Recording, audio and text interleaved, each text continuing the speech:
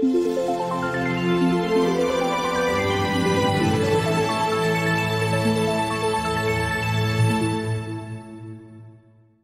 一月十八日，洛杉矶湖人队球星勒布朗詹姆斯和金州勇士队的凯文杜兰特，这两人是毋庸置疑当今 NBA 联盟实力最强二人。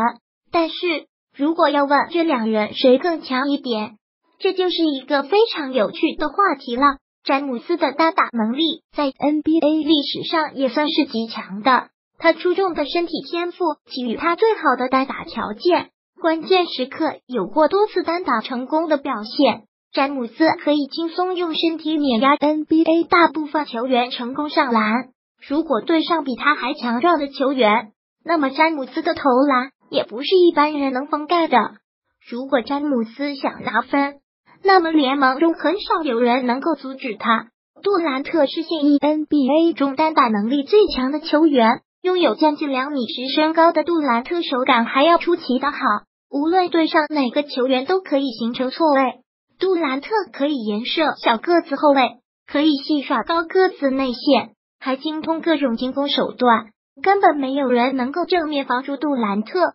如果说能够击败杜兰特的方法是什么，那就只有消耗他的体力了，否则真的对他毫无办法。NBA 名宿、五届全明星球员蒂姆哈达威认为凯文杜兰特实力超过詹姆斯。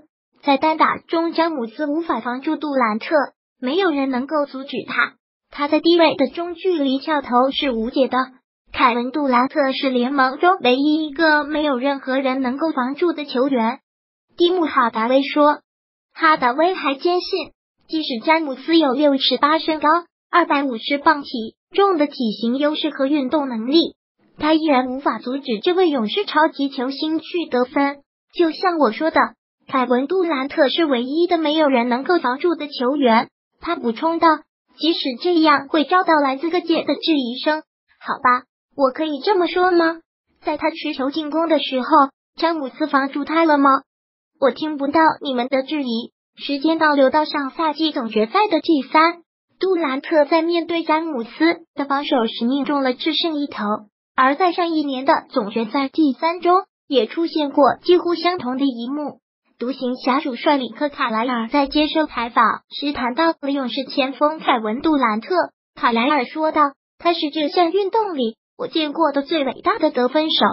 最近闹得沸沸扬扬的勇士内讧事件，格林要逼走 KD。而在很多的媒体和 NBA 球星看来，杜兰特要比格林更加出色。